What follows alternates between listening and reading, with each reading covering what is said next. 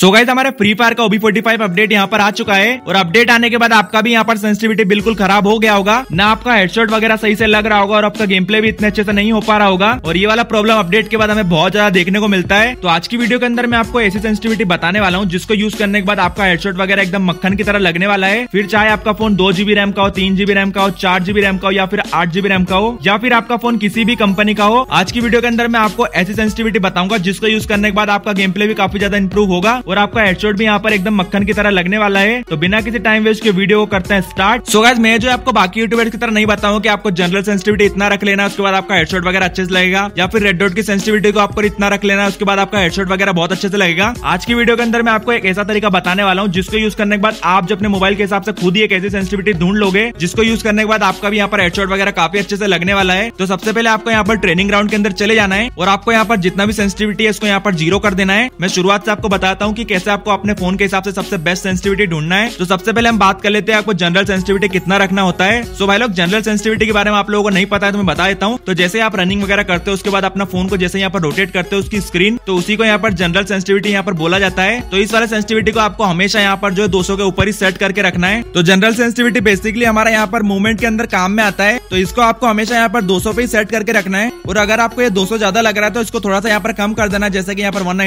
कर देना है वन कर देना है तो उसके बाद यहाँ पर हम बढ़ते हैं हमारी मेन सेंसिटिविटी के ऊपर जो की होने वाली हमारी यहाँ पर रेड डॉट तो हमारा रेड डॉट सेंसिटिविटी यहाँ पर बहुत ज्यादा इंपॉर्टेंट होता है तो हमारा रेड डॉट वाला सेंसिटिविटी से यहाँ पर हम जो वन टैप वगैरह मारते हैं और एनिमी को यहाँ पर हेडशॉट वगैरह मारते हैं तो आपको सबसे पहले क्या करना है ना आपको यहाँ पर जो सेंसिटिविटी को यहाँ पर फुल कर देना रेड डॉट का उसके बाद देख सकते हो सामने जो डमी वाला बंदा है ना हमारे ट्रेनिंग ग्राउंड का उसको यहाँ पर जो गोली मारने की कोशिश करना है तो देख सकते हो गाइज जैसे मैंने यहाँ पर गोली मारी देख सकते हो गाइज यहाँ पर जो हेड के ऊपर यहाँ पर एम जा रहा है और यहाँ पर हेडशॉट जो ठीक से कनेक्ट नहीं हो रहा है तो इसका मतलब ये है कि मेरा सेंसिटिविटी यहाँ पर कुछ ज्यादा ही हाई हो चुका है तो उसके बाद क्या करना है आपको जो यहाँ पर रेड डॉट का सेंसिटिविटी यहाँ पर थोड़ा सा कम करना है तो देख सकते हो गाइज गाइज मैंने थोड़ा सा यहाँ पर कम किया उसके बाद भी देख सकते हो सेंसिटिविटी यहाँ पर जो ठीक से नहीं वर्क कर रहा है मतलब यहाँ पर मेरा हेडशॉट यहाँ पर ठीक से कनेक्ट नहीं हो रहा है रेड डॉट के अंदर तो आपको क्या करना फिर से यहाँ पर जो सेंसिटिविटी को थोड़ा सा यहाँ पर कम करना है तो देख सकते हो मैंने यहाँ पर सेंसिटिविटी को थोड़ा सा कम कर दिया है तो गाइज देख सकते हो जैसे मैं इस डमी को यहाँ पर मार रहा हूँ तो देख सकते हो अब यहाँ पर जो हेडशॉट एकदम बराबर से मेरा लग रहा है मतलब मेरा जो रेड डॉट का सेंसिटिविटी जो मैंने अभी सेट किया ये वाला एकदम परफेक्ट मेरे लिए होने वाला है तो बिल्कुल इसी तरीके से आपको भी यहाँ पर अपना जो सेंसिटिविटी ढूंढ लेना रेड डॉट के लिए तो देख सकते हो मैंने यहाँ पर रेड डॉट के लिए एकदम बेस्ट सेंसिटिविटी यहाँ पर ढूंढ लिया है सो उसी तरह आपको यहाँ पर जो टू एक्स स्कोप का भी यहाँ पर सेंसिटिविटी ढूंढ लेना है पहले आपको आपका सेंसिटिविटी पूरा फुल कर लेना है टू एक्स का फिर उसके बाद आपको देखना है की आपका यहाँ पर हेडशॉट ठीक से लग रहा है या नहीं लग रहा है फिर उसको आपके हिसाब से यहाँ पर सेट करते रहना कम ज्यादा करके और जैसे ही आपको यहाँ पर आपका बेस्ट सेंसिटिविटी मिल जाए उसको यहाँ पर सेव कर लेना है तो उसके बाद आपको यहाँ पर फोर एक्स वगैरह का बेस्ट सेंसिटिविटी यहाँ पर ऐसे ही करके ढूंढ लेना है सो गाइज ये वाला ट्रिक यूज करके